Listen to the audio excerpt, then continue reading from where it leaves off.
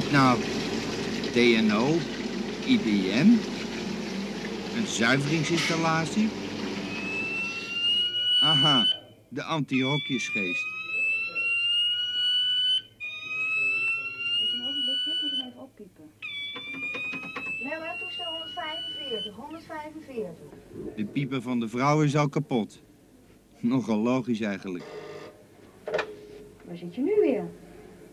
331. Het Jellinek-huis te Amsterdam. Een huis voor mensen met alcoholproblemen. Een huis midden in de stad. Zo dicht mogelijk bij de mensen.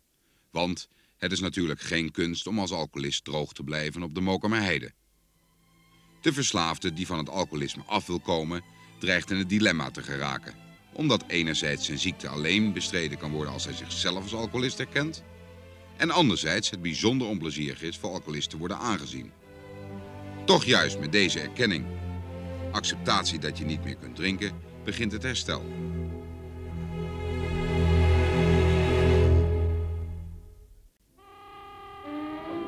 We gaan terug tot 1909.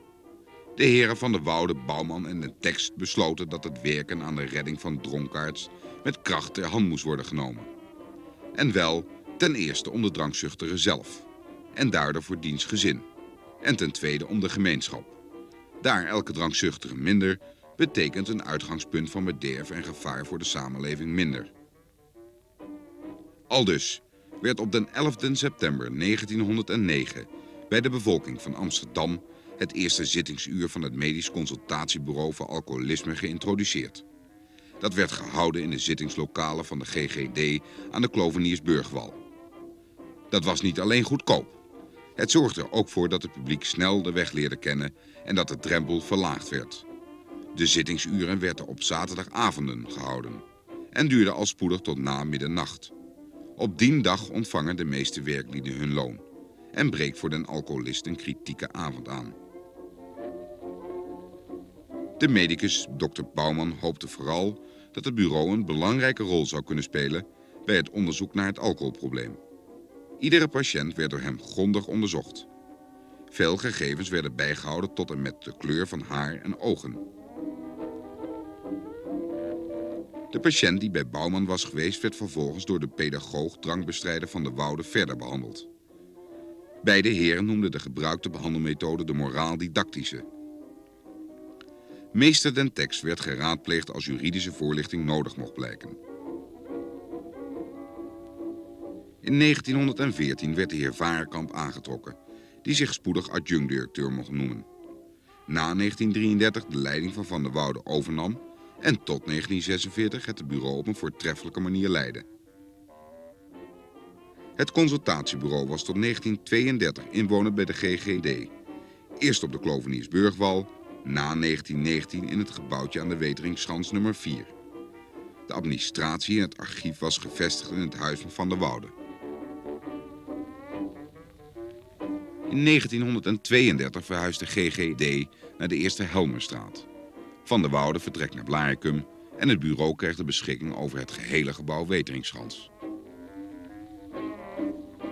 Er waren daar twee flinke spreekkamers. Afzonderlijke administratieruimte en een flinke wachtkamer. Het geheel was netjes ingericht. Dat had duidelijk een gunstige uitwerking op de bezoekers. Voortaan werden de voeten geveegd en was er geen spoor meer van tabaksap op het linoleum te zien. Hoewel er dikwijls meer dan 100 mannen op één zitting kwamen.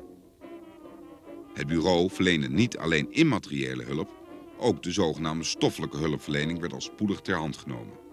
Velen waren in financiële moeilijkheden geraakt. Van het bureau kon geld worden geleend dat in overleg met de betrokkenen in desnoods vele termijnen kon worden terugbetaald. Later kwam hierin verandering, doordat de sociale dienst een uitkering verzorgde die aan het bureau werd overgemaakt. Medewerkers brachten deze uitkering aan huis. Bij gehuwden werd zij aanvankelijk aan de echtgenoten overhandigd en bij ongehuwden aan de kostjevrouw. Op die manier bleef men zicht houden op de patiënt. In 1946 verscheen de heer Krauweel ten tonele. Deze nam in 1949 het directeurschap van het bureau op zich. Hij werd op de voet gevolgd door zuster Lena Timmer. Eén dag in werktijd had ze nodig, zei Krauweel. Op 5 januari 1960 wordt een lang gekoesterde wens werkelijkheid. De inrichting van een kleine klinische afdeling, opvangcentrum of hoe ook te noemen. Het perceel Linnaeus Parkweg 20 wordt in gebruik genomen. Sinds die tijd draagt het bureau de naam van Dr. Jellinek. Met name deze Amerikaan heeft Krauweel en zijn medewerkers bijzonder geïnspireerd met zijn visie en zijn onderzoek. Waaruit onder meer bleek dat bij velen de visieuze cirkel alleen doorbroken kan worden door een tijdelijke klinische behandeling. Maatschappelijk werk op de Parkweg. De benen konden nog niet helemaal worden gestrekt. Juffrouw Timmer had daar zo haar eigen oplossing voor. Wie? Iemand in de zaal die ooit langer dan drie minuten met juffrouw Timmer sprak zonder dat de telefoon ging? En zorg toch vooral dat u zich niet te veel isoleert. Dat moet u nu thuis ook doen. Hier de recreatiezaal. En er wordt niet geklaverjast. Wel aardappelsjassen als zijn de corvée. Waar tante Greetje dan wel weer raad mee wist. Mag ik een ogenblikje stilte? Kijk hier, een van de therapieruimtes. De bibliotheek die heden ten dagen nog niet veel groter is. Waar zouden ze dat nou geleerd hebben, vraagt de broeder zich af. Vier grote uit de eerste klinische periode. Krauweel, Dr. Sunier en op de foto Bill Williams, oprichter van de AA en Dr. Jellinek. Zoals het beeld over alcohol zich wijzigt, wijzigt zich ook de opnamegelegenheid. Eind 50 jaren zien we een explosieve stijging van alcoholconsumptie. De gevolgen daarvan zijn pas later voelbaar. Wie het erop aanlegt kan weliswaar in twee alcoholist worden, maar gemiddeld duurt dat langer. De stijging van 10 jaar geleden is nu te merken bij de klinieken en opvangcentra. We zien inderdaad een duidelijke toename in de hulpvraag. Ook van de categorieën die vroeger niet tot de cliënten behoorden. Jongeren en vrouwen. Voorjaar 1967. Keizersgracht 674. De nieuwe mannenkliniek wordt in gebruik genomen. Er zijn 48 bedden, waarvan 8 op de ziekenzaal. We volgen iemand die zich laat opnemen. Nou, daar gaan we weer met het koffertje. Net als vier jaar geleden. Lang droog geweest. Dacht toch dat het wel kon, een paar borrels per dag. Ja, ja, voor een week of drie. De puinhoop is weer net als toen. Geen weg meer terug. Heropname. Is je enige kans, zei de maatschappelijk werker en arts. Je enige kans om niet weer alles de vernieling in te zuipen. Godzijdank snapten ze het op mijn werk. Het zal wel weer wennen zijn in de kliniek. Balen. Nou ja. Als mijn hersens weer een beetje op gang komen, kom ik er misschien wel achter. Hoe het anders kan, of zo. Nadat de nodige persoonsgegevens zijn genoteerd, ziet de dokter u. Degene die stopt met drinken vertoont over het algemeen onthoudingsverschijnselen. Hierdoor is het noodzakelijk dat hij in de eerste instantie medische begeleiding krijgt. Gezien de toestand van de patiënt bepaalt de dokter een medische indicatie. De eerste stap is het bed in op de ziekenzaal. De eerste dagen wordt hij behandeld met kalmeringsmiddelen om de onthoudingsverschijnselen te onderdrukken en moet veel rust houden. In vaktaal heet dat proces ontgiften. De alcohol moet het lichaam uit.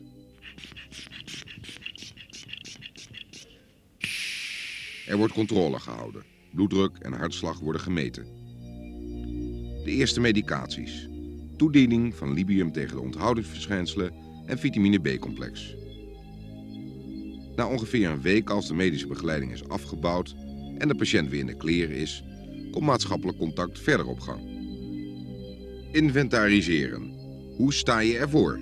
Je werk, je relatie, je financiën. Heb je nog een huis? Vaak is het zo dat men door het excessieve drinken alle schepen achter zich verbrand heeft. Vaak zijn de sociale problemen dermate hoog opgelopen dat de patiënt min of meer noodgedwongen aan behandeling toe is. Na de ontgifting op de ziekenzaal verhuis je naar een van de slaapzalen en krijgt de behandeling een veel socialer karakter. Het kazerne-idee. 11 uur, licht en uit zit erin. De PSU-kassen voor uw persoonlijke standaarduitrusting.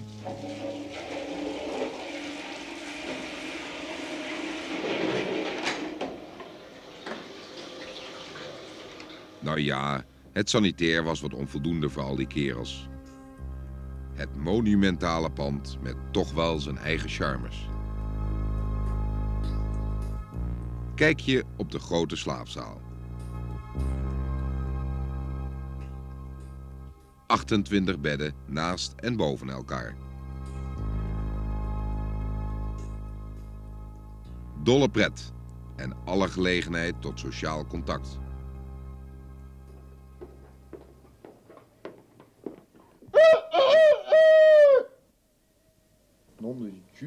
Hoe laat is het?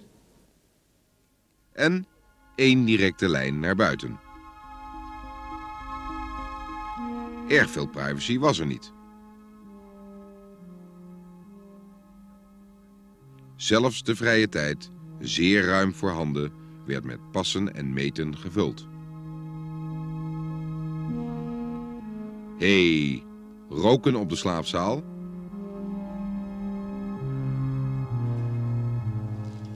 Ook de keuken kreeg met ruimteproblemen te kampen.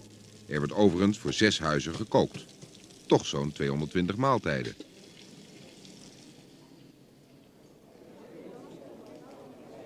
Eetzaal, recreatiezaal en melkbaar.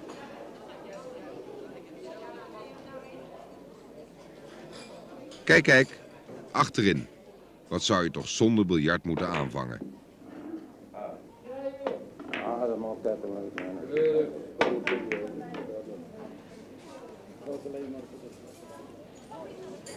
Achter de baar het privilege der kameroudsten. Jij krijgt niet meer. Achterin een stukje administratie. Het koetshuis staat scheef van de dossiers. Ha, die tuin. Daar mochten we nou zonnen. Mits gekleed.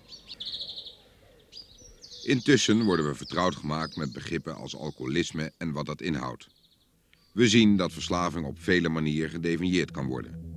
Alcoholisme is waarschijnlijk het eindproduct van een combinatie van diverse factoren. Een van de biologische factoren die genoemd worden is een stoornis in het endocrine klierstelsel. Andere theorieën wijzen op een stofwisselingsstoornis, veroorzaakt door een permanent drankgebruik, die onbedwingbare zucht naar alcohol tot gevolg zou hebben. De belangrijkste psychische factoren zijn spanning en angst. De meeste mensen vinden het prettig om te drinken, omdat ze zich na een paar drankjes lekker en ontspannen voelen.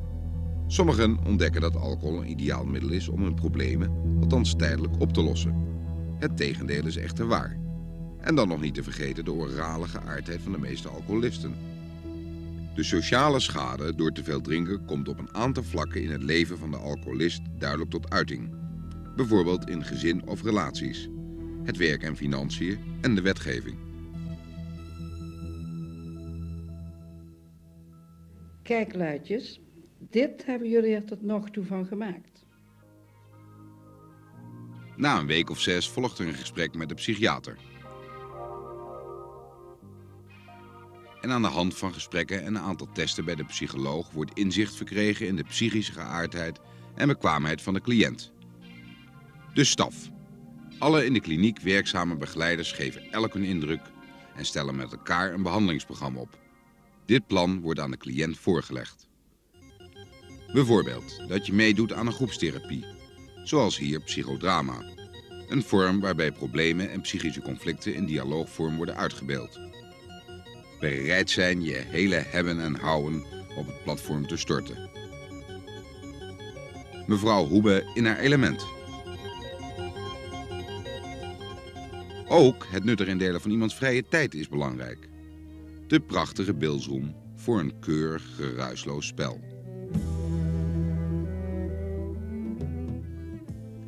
In de 70 jaren ontstond de mogelijkheid tot nieuwe huisvesting van de kliniek. Dit leidde tot een herbezinning op de behandeling. Enkele jaren werd druk overleg gepleegd omtrent de toekomstige kliniek en de toekomstige behandeling. Eind 70 jaren wordt opdracht gegeven tot de bouw van een nieuwe kliniek aan de Jacob Obrechtstraat. Waar niet iedereen even gelukkig mee was. Lees zelf maar hoe men in 73 jaar anders is gaan denken over alcoholisme.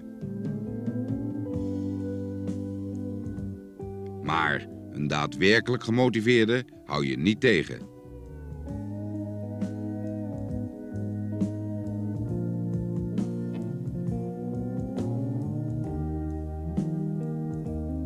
Jelle ziet het postuum, maar met grote instemming aan.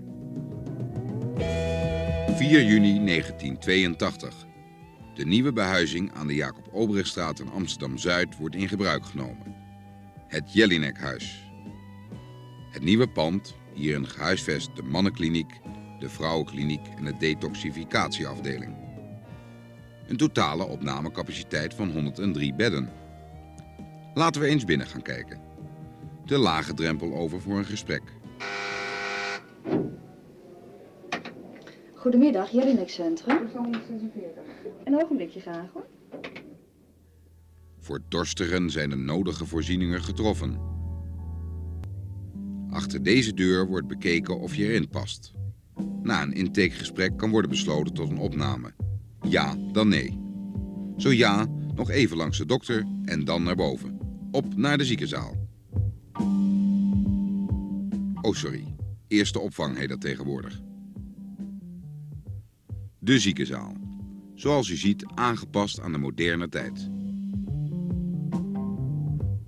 Hier gedurende een aantal dagen medicamenteuze behandeling.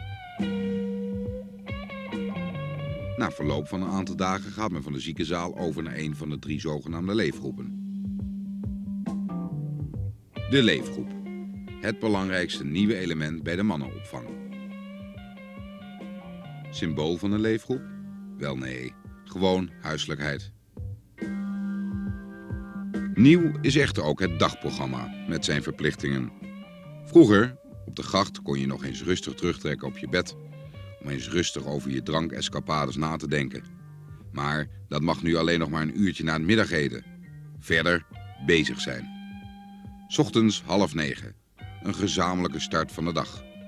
15 man per groep, samen ontbijten. Wedden dat je meer boterhammen naar binnen krijgt dan in je eentje? Om de sociale interactie te verbeteren heeft een ieder zo zijn taak in het huishoudelijk gebeuren. Daarna koffie drinken en samen met maatschappelijk werk en verpleging de algemene en eventuele persoonlijke kwesties doornemen. Op het rooster staan een aantal verplichte activiteiten. Na de informatiefase waarin zich wordt bijgebracht in de alcoholproblematiek, kom je in een van de gespreksgroepen. Daarnaast zijn er nog een aantal bijzondere groepsactiviteiten. de assertiviteitstraining, de ontspanningsgroep en het psychodrama. Verder op het programma de creatieve therapie, waarbij de cliënt wordt geholpen zijn creatieve potentieel te ontdekken, te gebruiken en te ontwikkelen. Verder de sport, die gelegenheid biedt tot allerlei groepsactiviteiten en gericht is op het doorbreken van de bewegingsarmoede. De cliënt confronteren met de uitwerking van de drank op de conditie. De bewegingstherapie wordt aangepast aan de mogelijkheden van de cliënt. De bodem kan in elke gewenste hoogte worden gebracht. Een gezonde geest in een gezond lichaam. Na zo'n dag heb je geen mogedon meer nodig. Wel heb je dan recht op een beetje je privéhoekje. De kliniek is een goed begin voor het herstel van de cliënt. Het opgeven van het gebruik van alcohol vraagt echter meer dan alleen het stoppen met drinken. Je moet een nieuw leefprogramma inrichten. Daarmee kun je in de kliniek beginnen. Eenmaal buiten, dus na de opname, moet je je weg verder zelf zien te vinden. De kliniek kan je op het spoor zetten. De rit moet je zelf maken.